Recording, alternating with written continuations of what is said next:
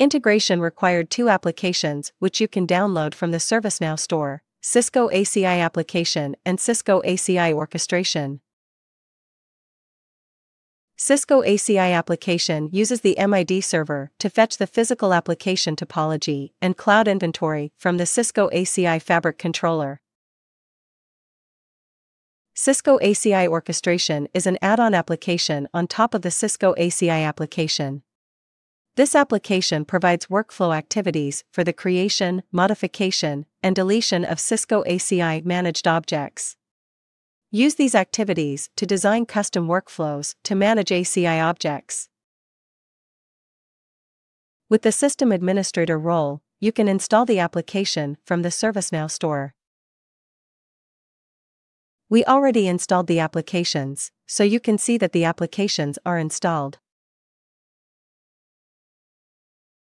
Now let us look at configuring ACI.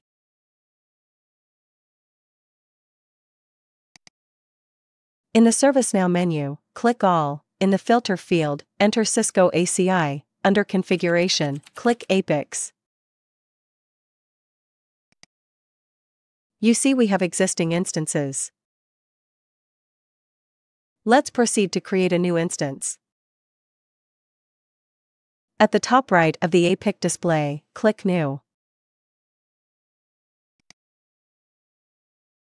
In the dialog, enter the required information and any credentials and then click Add.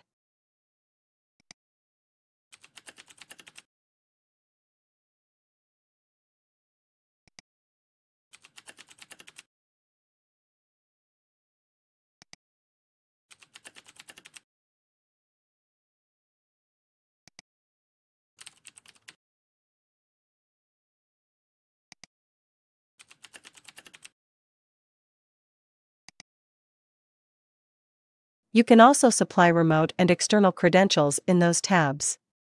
We purposely misconfigured the APIC for this video to prevent adding unneeded items to the demo environment.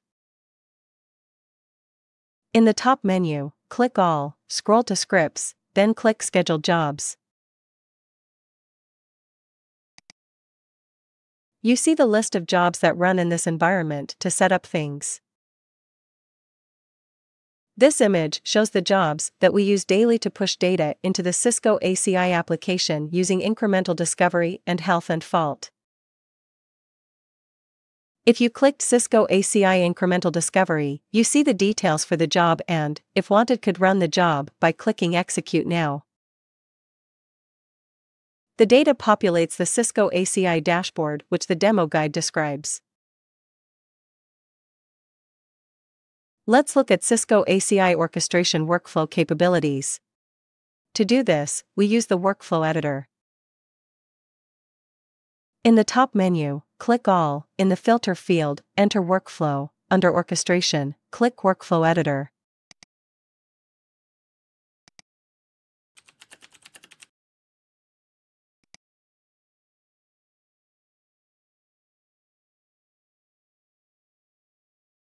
To see the Cisco ACI orchestration tasks we used in the demo to create various workflows, in the right display, click Packs, then under Orchestration Packs, expand the Cisco Systems Inc. section and then expand Cisco ACI Orchestration.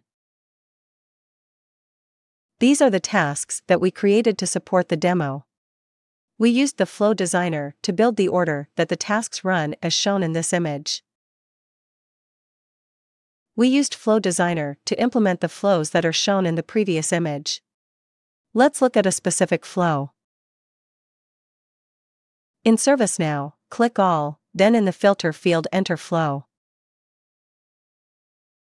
Then click Flow Designer.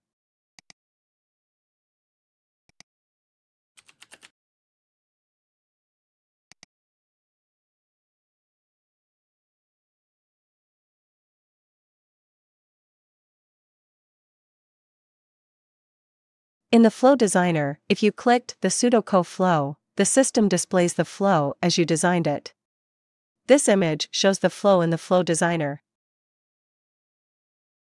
If you expand the call a workflow, you see the parameters for the workflow, including the workflow name.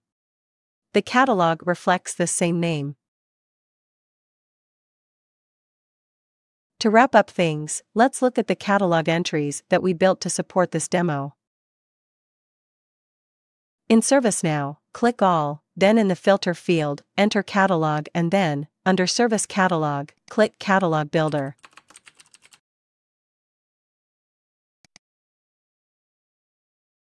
To display the list of catalog items, in the Catalog Builder tab, click Catalog Items. Let's look at the request EPG in existing tenant item. Click Request EPG in existing tenant. The right panel displays the details about the catalog item, including a description of the item and any information you need to order the item successfully. The demo guide goes into the details of using the catalog items in this demo.